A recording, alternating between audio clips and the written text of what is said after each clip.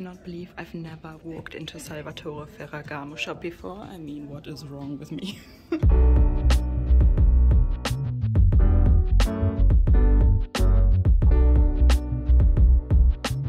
I love Berlinas, that's what we They're call them. No, they're not donuts. Donuts have a hole in the middle. These are Berlinas. So um, tell me, these are the best ones you say in London? In, in London. So we got ours. I got a velvet chocolate one. You got? Uh, the praline. Hello everyone. Uh, it's a beautiful Sunday morning in London. Cheers, of course. That's my newest addiction, by the way. Obviously not sponsored, but the ice brown sugar oat shaken espresso. Right? It's good. It's really good. so here we have our uh, bread ahead donuts and yeah I would say let's start the day with that. First of all guys today we need to talk about Balenciaga's new trash bag. You have seen pictures. Give me your opinion, he's just laughing. Have you seen the film Zoolander? no? The, there's a film called Zoolander, Okay. and it's a film about the fashion industry and how silly it is. And uh, the villain in that, Mugatu, Yeah. launches his own derelict line, which is basically homeless chic. And oh, that's, Oh, yeah, yeah, that- yeah, that's yeah. the bag. Like, Oh my god, yeah, it is. It's such a trash bag. I think, to be honest, the designer of Balenciaga, he probably saw that everybody was commenting on the Chanel 22 and saying it's a trash bag, right? And then he was thinking, I can do that in a better way. I can actually give them a trash bag. They want a trash bag, they get a trash bag if you're going to take inspiration, that's not the bag. to take inspiration Yeah. from. Well, that's uh, right. okay, so what's our plan for today? Donuts. Uh, yeah, yeah, donuts. Donuts. Oh my god, we can see them already. I show you in a second. I show you in a second. But also we have another plan. We're gonna look at some Salvatore Ferragamo bags today. Yeah, let's go hunting. Let's go hunting. And you say there's filling inside as well, right? Yeah, there should be plenty for you. Oh, I love Berlinas. And guys, look at this. We are sitting at the Victoria and Albert Museum. And it's such a beautiful day, but I burned so quickly, so we need to sit in the shade. It's tiny though. We should have It's gotten not tiny, we should have gotten two. and we're here. Let's go in and have a look. This bag is quite nice. Reminds me a little bit of the Jacquemus bag. Okay, so that's the classic one. It's nice for me, That's right? nice, Yeah. I think I really need to get one of these. It's the perfect bag you don't want a Kelly, but it still has the style of a Kelly. And there's so many beautiful pieces. Let's look at that pink one. Here we are with the classic Salvatore Ferragamo. And guys, I have seen this one in Japan in the vintage shops, like vintage versions of this, and they still look exactly the same. And I think it is the perfect alternative to, you know, box calf Kelly. I mean, just look at this shiny box calf skin. It's gorgeous. I think we need this one. So that's the inside. You have compartments. My mom would love that. Okay, so this is my highlight um, from today. Look at this gorgeous color. It's a crocodile or an alligator. It's slightly shiny. I think we should try this one on too. This is classic brown as well. Absolutely love it.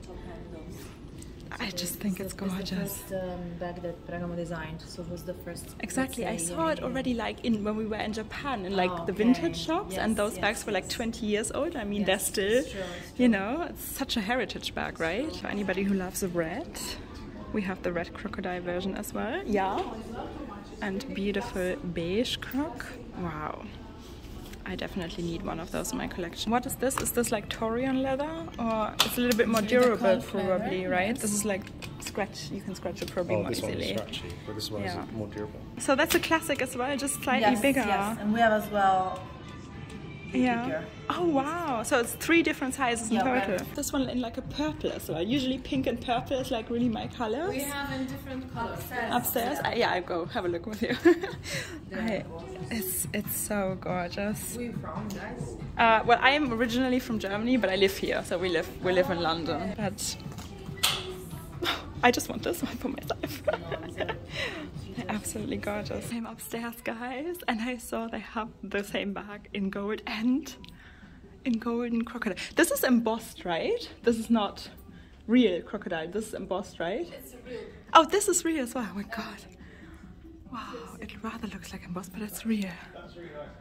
Oh, guys. And I will show you. How gorgeous is this? But this one is really nice as well. I'm gonna be a massive Salvatore Ferragamo fan, guys. How gorgeous are these bags? A little yellow bag. This actually looks like patent leather. Oh, and here we can see the classic um, Gancini in like a wider version as well. So they come in three different sizes. This is the smallest downstairs. The bigger black one we've just seen is the medium, and this is like a more rectangular shape. But I think you can never have enough golden bags. these toes, yeah, these toes are gorgeous too. This I've seen online as well.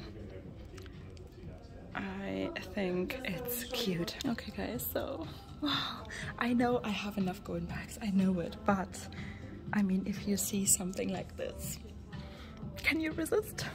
I can't. Oh, can you see how it's like a mirror reflection? Absolutely gorgeous. I want to take this one home. And the pink one. Cannot believe I've never walked into Salvatore Ferragamo shop before. I mean, what is wrong with me? Look at these. I think I will definitely go from shop to shop. Oh wow, like a black raffia. Is this raffia? No, it's not. It's like a wooden bag, but how gorgeous. Um, I think I will go to all the different shops and look what they have, and I will get those bags. I think I definitely need a black one and a gold one in my collection, right? So we just came out of Salvatore Ferragamo, and my heart, I lost my heart to something. Did you hear that? so I I know we were looking for a present for someone else, however, I've fallen in love with the classic Salvatore Ferragamo. I knew this was an option. I've seen them online and now that I've seen them in real life, they are gorgeous and the quality again is so good. The leather that they use is right, the oh, shine oh, yeah, of yeah, it and oh, it's beautiful. It. So maybe we have to go back later. Any comments? We're gonna have to get a new cabinet, aren't we? Maybe. We are back, guys. Okay, so which one is it? Which one should we pick? I mean, this is the dream, maybe one day. I love this. I don't have a brown bag yet. Or how about a classic beige? the black but I mean I have so many black bags right this is definitely something else I mean we came here to pick a bag for someone else's birthday and what are we doing now well someone got distracted. I got distracted. Obviously, I'm not gonna say which bag I'm picking in terms of color combination, but it's it's it's a good choice, right? You always want to get me into white trainers. Is that an option? It's not entirely white. I've got some flowers. if it gets me wearing trainers. Guys, tell me, are you fans of trainers? I hate them. Waiting and she's packing my bag. Let's have a quick look at these sparkly shoes. And there's a nice clutch. Oh, they have like a little box bag as well, like a little vanity case. That's pretty as well. And ooh, python. How gorgeous is that? Quick outfit of the day as well, guys. This is obviously one of my favorite summer dresses at the moment. I love the asymmetrical cut, I can always only say it. And today we're wearing my little Lova happy bag. And guys, the Chanel um, 22 bag obviously has a little logo coin, right? That's hanging here as well. The Lova one has one too, with the mother and child logo. Love it. I'm getting a second coffee today, but can you see that? That's my bag. so let's get a little, you know, I need I need it for the shock. This is the first time I'm seeing the Icare. Is it called Icare bag?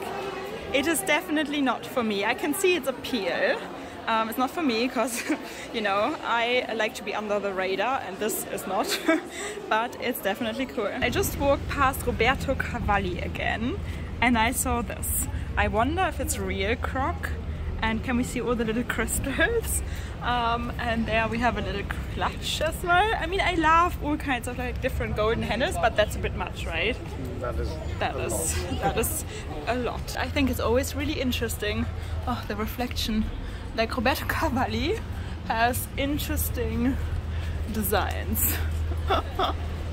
we just came out of the Salvatore Ferragamo shop and I, I, I can cheers to myself, right? so um, yeah, I think it's this is still a luxury experience what we've just experienced, right?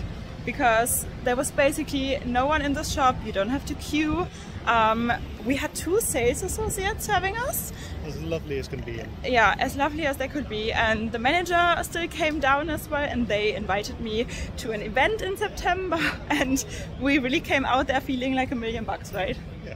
That's, what luxury is about. That's what luxury should be about. so, yeah, I think that was it for today, guys. I hope you enjoyed it. If you did, please give it a thumbs up, subscribe, join our little handbag obsessed family here, because we all do have the same luxury disease. Yes, we do. and I see you again soon. Cheers.